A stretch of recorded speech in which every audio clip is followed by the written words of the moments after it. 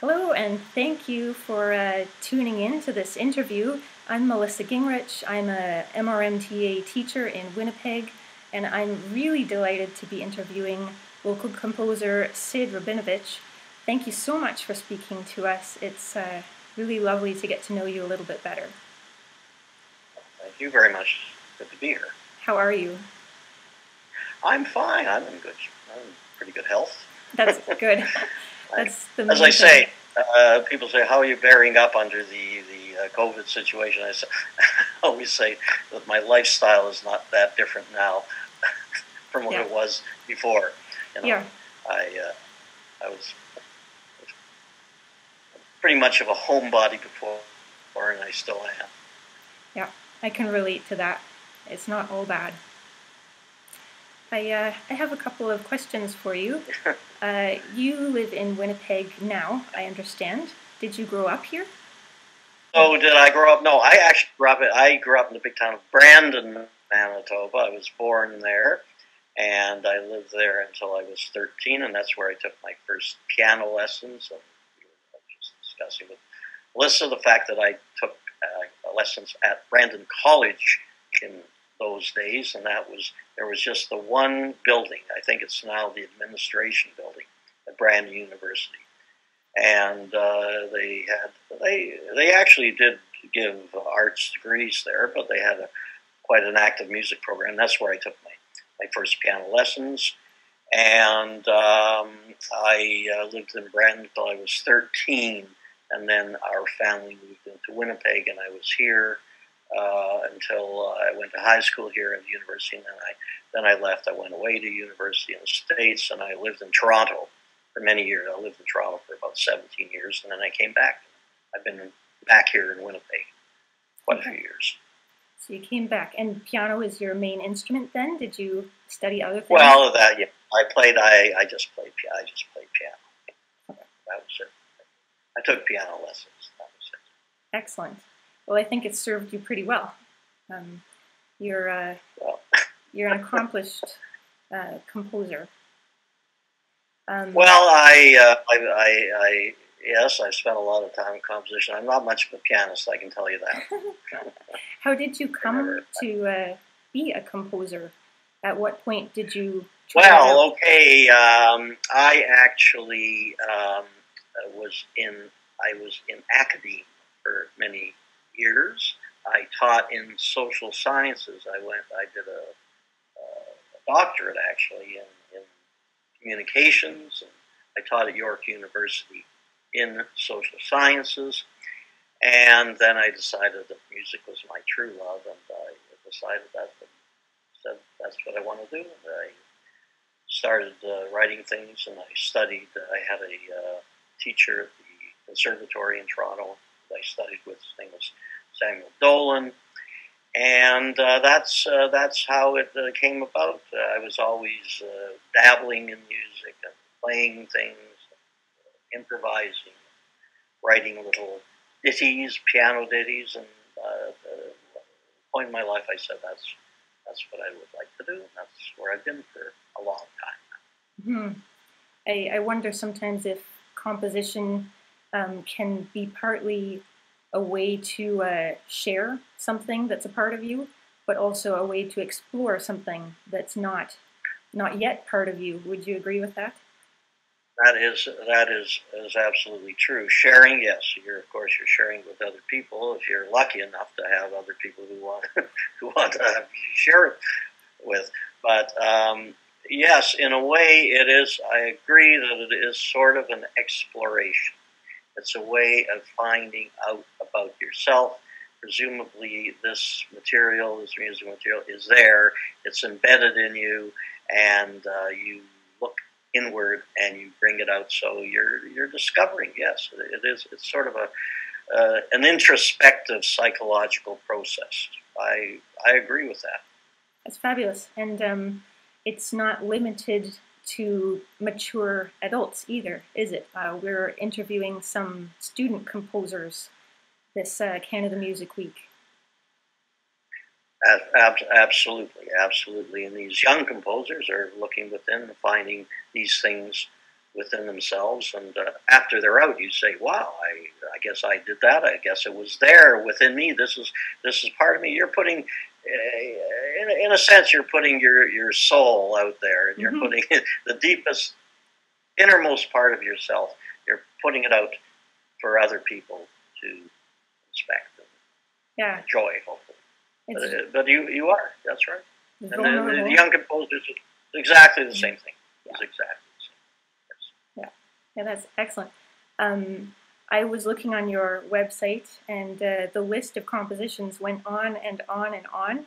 You've written for orchestra, choir, band, small ensemble, solo instrument, um, and I noticed that dance and uh, world music are really strong themes, both of which I really enjoy. I wondered if we could talk just a little bit about one of your uh, works, uh, I enjoy the album Sepharad. I wonder if you could give us some some background on that. Sepharad is a um, uh, it's really the it's it's a Hebrew word um, and it refers to, really to Spain, and it's the word. Uh, just to go briefly into a little bit of history, um, the Jewish people, there are really two kinds of Jews. There's there's East European, the ones who come from East Europe, which I do, and that's where my family comes from, from Eastern Europe. And then the other, and those are called the Ashkenazic Jews. Okay. And that these these are words that occur in the scriptures, in the Bible. And that has come, Ash, Ashkenaz was the term that came, came to designate Germany. Uh, that was the symbol of, the, of Europe. Mm-hmm. And Sepharad was the term that came to designate Spain. And though that, that term refers to Jews who came from the Middle East, originally from Spain, but then they left Spain back in 1492, you know, when Columbus mm-hmm. sailed the ocean blue, you know. Uh, there, were, there were quite a few, actually. There were a lot of uh, Jews in Spain, and they left at that time. They were actually forced out. They had to get out. And they dispersed throughout the Middle East. They went to various Arab countries. They went to Morocco, to North Africa, and they went to the Balkans. They went to what is uh, now Yugoslavia and Bulgaria, and they went all the way to uh, Iraq and to Iran and all those parts of the Middle East. So the term, so Sepharad, after that long introduction, the term Sepharad is is used to designate that group of Jews who are in, in the Middle East. So the album, most most of the pieces have some sort of Middle Eastern connection. Mm-hmm. Uh, many of them, uh, most of them actually have a Jewish connection too. So you put the two together, Middle Eastern and Jewish, and you come up with Sepharad. So uh, there are very there are various pieces there. There's a setting of the uh, Song of Songs, you know, from the from the Bible. There's that all the pieces on that album have guitar. Every piece has guitar. That's sort of the featured instrument. There are other instruments as well, and there are vocal selections as well. But the guitar is sort of the main motif runs through all that, all those pieces, and that is, of course, is an instrument that you typically associate with Spain and mm-hmm. also parts of the Middle East. So it, it, so the idea is that it's it, it's um, it's uh, it's sort of exotic. It's Spanish. It has a Jewish connection, and that's why that's what Sepharad has come to designate. I don't know if what your experience is. What was listening to? Did you did you feel that there was kind of some sort of an exotic uh, aspect to it? Yeah, for sure.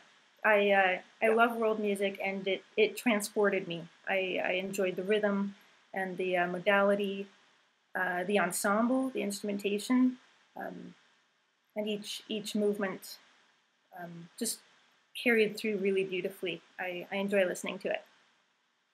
Well, that's great. Well, you got yeah. you got the right feel. That's what it's supposed to. Thank you for uh, for putting it together. yeah. I don't. I, I, I did try convey. I maybe I, I didn't really give much information in the notes. I don't. I guess, But I, uh, anyway, this uh, Sephar, Sepharad, I just think of that as referring to Spain. That's it. Yeah, I wouldn't have guessed that. That's that's helpful. Um, I have another question for you. Um, this one maybe thinks um, a little bit more about the Canada Music Week context and the uh, MRMTA uh, student uh, context uh, for our viewers here. Um, as a composer and instructor, how would you encourage students and teachers to expand their musical tastes, particularly into world, contemporary, or Canadian music? How would you encourage us to play Beethoven and Bach, but expand that palette? Well, uh, just uh, soak up whatever you can. I mean, there's so much now. I it, it's just astounding what there is. I go on YouTube and whatever you want to listen to, it's there. Mm-hmm. If you want to uh, want, uh, Vietnamese music, you can get it. If you want African music, whatever you want, it's there, and you can explore uh, all these different kinds of folk, folk music, as well as the classics. Are the classics are all there as well. We know that, but that is one. I I think is the best best thing to do is just listen, listen and soak it up, and um, uh, I think a lot of young people are doing that now, and there's and there's there are influences from all these different kinds of folk music in pop music as well. So, I mean, I my background, um, uh, you know, I, I, I, did go through the uh, piano, the, the system of uh, taking piano lessons, and we did little minuets by Mozart and Clementi and things like that. But I was most interested in the popular music of my day when I was mm-hmm. growing up. And That's that's what that's what had the most effect on. Me. So I would encourage people to do that. You know, just to open up to the all the music that's going on around with the pop music, and also and various folk music mm-hmm. too. And you can get so much nowadays. It's all there. I think uh, what you're saying is a testament that we can we can study the curriculum, but also explore and dabble in other things without watering down our experience. It actually uh, builds the experience and uh, creativity. Right. Um, and I think it would be it would be helpful if there were pieces, if they could include pieces with with a folk connection in them in in the curriculum. I mean, I have one piece in this um, uh, event, which uh, is is sort of folk influences. That the Izmir piece, which uh, I think is going to be played and that that has a, a, folk connection. Also, the other one that's that's in there, Sur le Pont d'Avignon, is a folk song. Mm-hmm. So these pieces are available and they can be played by young students.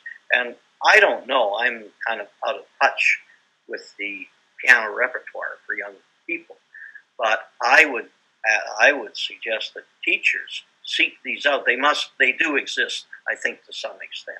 Mm-hmm. And I would encourage teachers to include these within the repertoire, as well as as well as the you know the, the Bach and the Clementi and the Mozart and all the rest. But uh, for sure, and uh, I think I think young young stu- young piano students would appreciate them. Mm-hmm. But uh, you know, uh, there, there there is there's probably a fair bit of material out there. I don't know. You could you can fill me in. You tell me. Yeah. Yeah, it's true. It's true. Um, there are pieces of pretty much every genre for every level if you know where to look and if you make friends with your local bookstore and and online print and whatnot too. And I, I know my students love to explore to explore all the types. Uh, we we try to cover all the bases and it's it's just a rich experience. But and it's not for certain levels; it's for every level. Well, I'm glad to hear that there is material out there because when I was growing up, there that didn't exist at all. But I, I think things have changed. It has, yeah. I think um, there's a desire, and the students don't hesitate to ask, "Can I please play this song?" Or "I heard this on a movie." Can I please Or play this yeah. song? That's right. Yeah. So these are probably talking about pop pop tunes that they Yeah. that they hear all the time. That's right. So um, there's no reason not to do them. There's no reason to shy away from from those. Or at one time they, I guess, they were considered wasn't considered to be high class, high quality or high class music. But you know, I I, I, I don't think people take have that attitude. Anymore. I think we're learning that we're in the inspiration business. Um, students play well when they're inspired, and they uh, they create other inspirations out of that. And uh, That's right. What do you? I'll ask. I'll ask you. I'll ask you a question. What What do your What do your students most uh, enjoy playing? What kind? What music? I get a lot of requests for movie pieces. Um, Movie. Sometimes it's like top 40 radio stuff. Um, it's not too often that those pieces adapt well to piano. It's a lot of like B, B, B, B, B, B, B. It, it doesn't adapt super well. But, uh, I understand. But understand what you're soundtrack stuff um, goes Yeah. over really well. And that can be a pretty broad spectrum, whether it's James Bond or Titanic or whatever. It's great. They Yeah. love it. They they know the story behind the piece, and I just see them play with new passion when they have that connection. That's great. That's fantastic. Yeah. Well, I can say that that sort of uh, rings true for me because I did take piano lessons. We did the traditional repertoire, but I was more interested in the popular music of my day, and that's what I, I played in my own. And then later on, I uh, took actually I I, I took uh, popular piano. There was a fellow back in my day, way back, who taught popular piano and that's what I enjoyed. And then later on, I came back. I said, "Well, this is great and this is fine, but there's I just wanted something more." And I came back more to what you would call classical music, and then into then into the modern classical rep- repertoire. I'm talking about Bartok and Stravinsky and Copland and people like that. But I came back to it on my own. But I, I, I went the whole route. I went into popular music. Mm-hmm. That's that was my music, and I that I, I I went and I, I think the same thing might happen nowadays if you inspire uh, young young young people by giving them the kind of music that they can relate to. They'll come back, and if they're really interested in music, they'll start exploring the classics on their own Yeah. and realize what what what what they have to offer. Yeah, I agree. I, I totally agree because there's a richness there as well. It just might take some time to appreciate it. Sure. It's been fabulous to talk to you. Thank you so much for your time. It's nice to uh, to see you and put a put a face to the name. We really appreciate what you have to say. Well, thank you, Melissa. It's been a pleasure to talk to you. Stay well. You too. Thank Bye-bye. you, Sid. Bye.